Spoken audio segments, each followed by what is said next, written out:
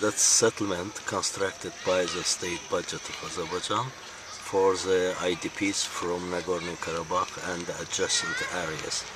This is a secondary school for IDPs children.